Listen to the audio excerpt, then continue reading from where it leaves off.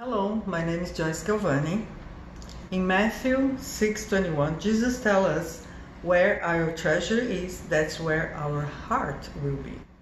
I give to First Miami because I believe that we need to help the less fortunate, and that's what we Christians should do.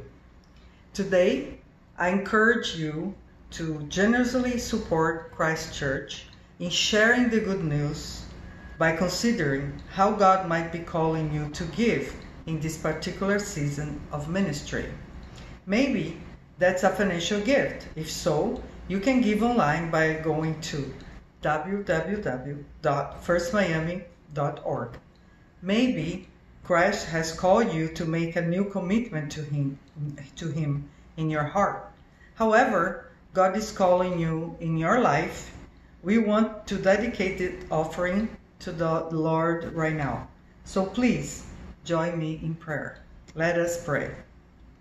In this moment of worship, we embrace your presence again, O God, and we offer you our love. In this moment of prayer, we proclaim again your purpose for the world, O Savior, and we offer you our resources. In this moment of giving, we hear your call again, O Lord, and we offer you ourselves.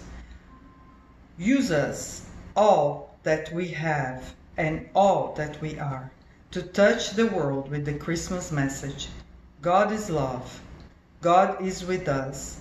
God will never leave us. So we may the grace of the Lord Jesus Christ, the love of God, and the fellowship of the Holy Spirit be with us all, now and forever.